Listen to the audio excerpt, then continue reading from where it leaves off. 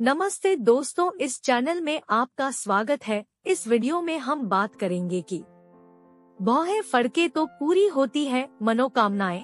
अंग का फड़कना ईश्वर का संकेत, जानिए अंग फड़कने का फल।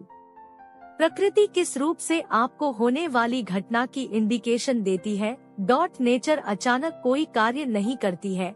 वह हमेशा पूर्व सूचना या चेतावनी ज़रूर देती है। डॉट संवेदनशील लोग इसको तत्काल भाप जाते हैं और अलर्ट हो जाते हैं।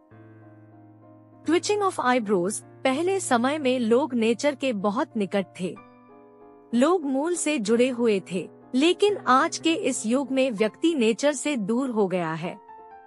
जिसकी वजह से उसको नेचर के संकेत समझ ही आते हैं। प्रकृति की इन सब सूचनाओं के लिए पूरा एक शास्त्र है, शकुन शास्त्र है।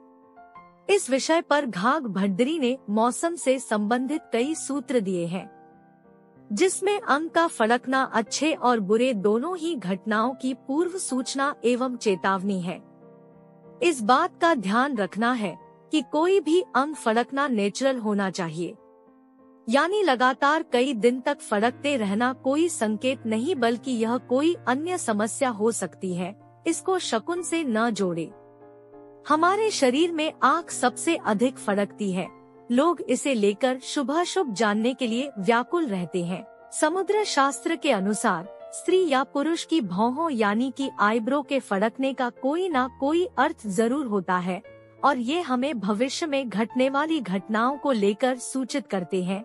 आईब्रो के फड़कने से न सिर्फ़ आप केवल अपनी आर्थिक स्थिति के बारे में जान सकते हैं बल्कि विवाह और दूसरे कई अन्य विषयों के बारे में भी जान सकते हैं। आइए जानते हैं, आईब्रो यानी भौहों के फड़कने का क्या है मतलब। बनते हैं, विवाह के योग। वहीं अगर दोनों आईब्रो के बीच का स्थान फड़के तो माना जाता है कि लाइफ में प्रेम का आगमन होने वाला है या लव लाइफ बेहतर होने वाली है। पूरी होने वाली है मनोकामना। अगर दोनों आईब्रो फड़कने लगे तो इसमें परेशान होने वाली बात नहीं है। यह संकेत है कि आपकी कोई बड़ी मनोकामना पूरी होने वाली है। वहीं अगर राइट साइड वाली आँख का मध्य भाग फड़के तो व्यक्ति अपने लक्ष्य को प्राप्त कर धन और सम्मान प्राप्त करता है। बाई भौह फड़कने का भारतीय समुदायों का मानना है कि बाई भौह का फड़कना एक अच्छा या बुरा शगुन हो सकता है। यह इस बात पर निर्भर करता है कि इसे कौन महसूस करता है? बाई भौह का फड़कना पुरुषों के लिए एक अपशकुन है, लेकिन महिलाओं के लिए एक अच्छा शगुन है। उदाहरण के लिए, बाई भाव फड़कने पर कोई पुरुष बीमार हो सकता है, लेकिन महिला धनवान और समृद्ध होती है। बाई भाव फड़कने का क्या मतलब होता है?